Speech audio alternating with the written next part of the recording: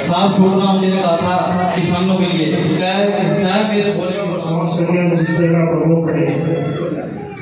तो मैं ज़्यादा कुछ ना कहूँ मैं आपसे यही विनम्र निवेदन करता हूँ। मुझे पूरा विश्वास है कि रिंकू मेरा छोटा भाई। शुक्ला जी जुड़े उनसे भी बात करेंगे। कुरुक्षेत्र भूमि के वो संपादक भी हैं उनसे भी जानेंगे। जी सर नमस्कार। जी नमस्कार। तो चेहरा तो लोग जान ही चुके होंगे क्योंकि आप तो खुद संपादक हैं। आप इनके साथ संघर्ष में जुड़े देखिए मैडम संघर्ष में जुड़ने के लिए कोई एक डिसीज़न लेना कोई ज़रूरी नहीं। जी।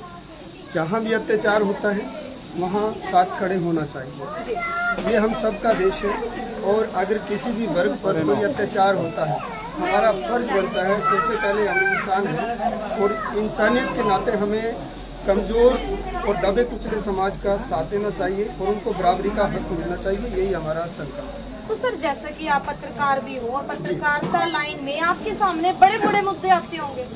जी बिल्कुल आते हैं। बहुत से अत्याचार जो जनता पर हो रहे हैं महिलाओं पर बेटियों पर इतने अत्याचार होते हैं कोई देखने वाला नहीं है कानून व्यवस्था नहीं है। हम हमेशा कुछ पार्टियों को वोट करते आते हैं या बीजेपी या कांग्रेस और उन्होंने बहुत लंबे समय तक राज किया है।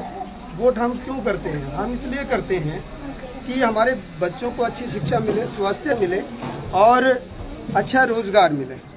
जब हम अपनी बहन बेटी का रिश्ता करते हैं एक अच्छा घर देखते हैं एक अच्छा वर देखते हैं कि हमारी बेटी खुशहाल रहे हम सब का जो आज इकट्ठा होने का उद्देश्य है, चुनाव का दौर चल रहा है। हमें यह निर्णय लेना चाहिए कि आगे आने वाला जो समय है, हमें अपनी वोट से सुरक्षित करना है। पहले एक राजा का बेटा राजगद्दी पे बैठता था और उसके बाद उसका वंशावली। आज वोट में वो ताकत है।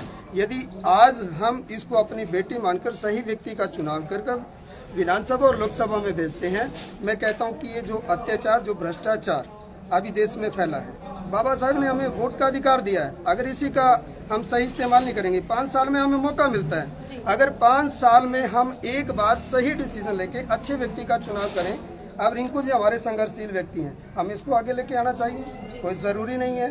कोई कांग्रेस का नेता हमारे बीच में आकर हमारी वोट ऐड कर ले जाएगा।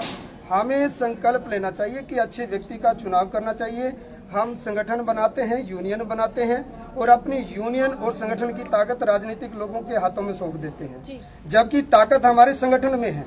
राजनीतिक पार्टियों की ताकत हमारी नहीं है। जनता उनकी ताकत है और जनता को डिसीज़न सही तरीके से लेना चाहिए और अपने मत का प्रयोग यानी कि मतदान जो होता है अपनी जो बुद्धि का प्रयोग है वो सही तरीके से करना चाहिए और इस देश को यदि बदलना है तब तो ताज बदलना है। तो हमें अपने वोट का सही इस्तेमाल करना चाहिए, अपने संगठन को मज़बूत करना चाहिए और हर समय एक दूसरे के सहयोग में खड़ा होना चाहिए। यही हमारा संदेश है आपके माध्यम धन्यवाद सर, आपका